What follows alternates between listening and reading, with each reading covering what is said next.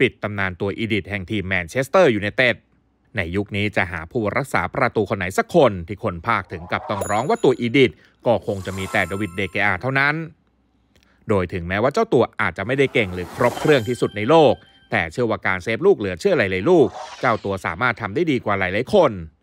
โดยในวันที่ทีมแมนยูขาดสมดุลในเกมรับ ก็ยังมีเดเกอาที่คอยช่วยเซฟให้ทีมกลับมาได้แต้มอยู่หลายครั้ง และฤดูกาลที่เพิ่งจบลงไป เชื่อว่าทุกคนคงเห็นตรงกันว่า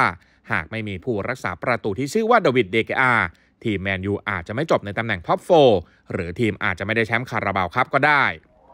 โดยถึงแม้ว่าเจ้าตัวจะมีความผิดพลาดให้เห็นอยู่บ่อยครั้งในฤดูกาลนี้ หรือจะใช้เท้าในการขึ้นเกมดีไม่เท่าผู้รักษาประตูชั้นนำคนอื่นในพรีเมียร์ลีก แต่เจ้าตัวก็สามารถสร้างช็อตเซฟปาฏิหาริย์ได้หลายต่อหลายครั้ง จนทำให้คนดูทางบ้านถึงกับต้องร้องว่าไม่เข้าได้ยังไงวะ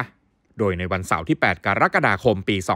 2023 วันที่ทีมแมนเชสเตอร์ยูไนเต็ดโพสต์ประกาศอำลาดาวิดเดเกอาอย่างเป็นทางการ ถือเป็นการปิดฉาก 12 ปีของเจ้าตัวกับทีมแมนเชสเตอร์ยูไนเต็ด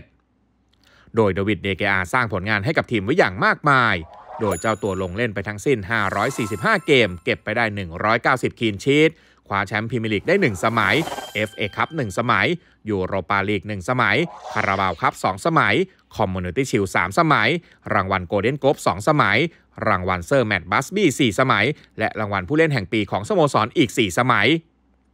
โดยผลงานที่กล่าวมาข้างต้น ถือว่าเจ้าตัวประสบความสำเร็จอย่างมากกับทีมแมนเชสเตอร์ยูไนเต็ดเพราะนักเตะบางคนในทีมตอนนี้ยังไม่สามารถคว้าแชมป์ลีกกับทีมได้เลย พวกเราในฐานะแฟนบอลของทีมแมนเชสเตอร์ยูไนเต็ดขอขอบคุณเดวิดเดเกอาด้วยใจจริง ที่ช่วยพาทีมมาได้จนถึงทุกวันนี้ โดยในเส้นทางข้างหน้าไม่ว่านายจะเลือกเส้นทางไหน นายจะคือตำนานของทีมแมนเชสเตอร์อยู่ในเต็ดตลอดไป Thank you for everything ดาวิดเดเกอา